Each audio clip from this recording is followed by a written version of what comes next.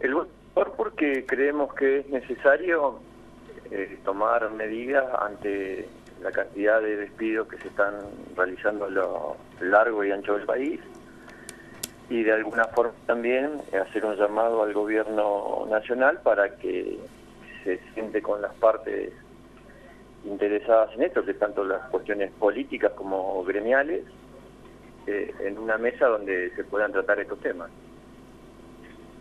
José, eh, ¿cuáles son este, aquellos eh, detalles que podemos conocer acerca de esta ley que fue aprobada con media sanción ayer en el Senado de la Nación y que pueden beneficiar de alguna manera a este, las personas que, han, eh, que van a ser este, despedidas o que han sido despedidas?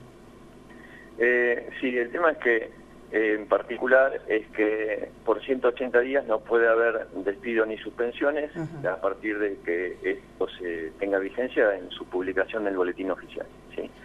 Este, por otro lado, los que sean despedidos eh, podrán este, obviamente accionar judicialmente y en caso de aceptar el despido tendrían que tener una doble indemnización.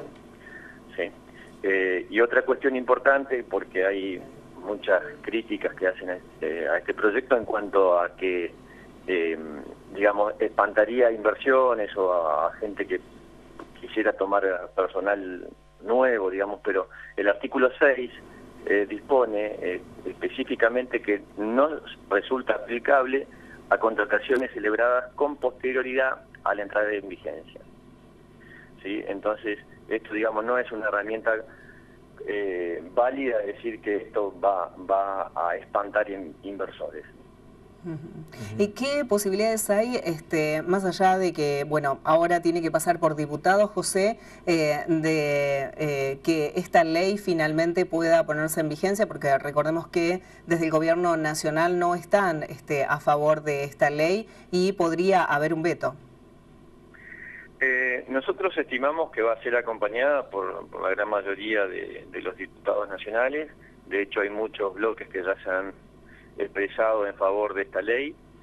Eh, y bueno, después estará en manos del Ejecutivo Nacional, vetar o no, es una herramienta que tienen del veto, pero también se tienen que hacer cargo de una decisión política que va en contra de los intereses de la mayoría de los trabajadores. Convengamos que en la mayoría de los gremios que participaron en reuniones tanto en el Senado como en diputados eh, vieron con buenos ojos esta iniciativa y, están acompañando. Entonces, eh, si decide vetar el gobierno esta, esta ley, bueno, se hará cargo del costo político que va a tener que afrontar.